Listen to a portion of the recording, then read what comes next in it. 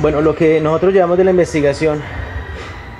eh, nos indica que en el momento que se presentó el hecho no hubo ninguna persona que se, se acercara al sitio,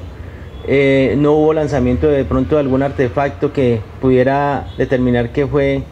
eh, esta situación que se pudiera presentar, no hay denuncias de extorsión de ninguna índole. Estamos trabajando, investigando para determinar el origen de este hecho tan lamentable. Sin embargo, todo apunta a que fue un accidente que se presentó en este lugar, simplemente es determinar ese accidente en qué consistió, pero todo indica que fue un accidente.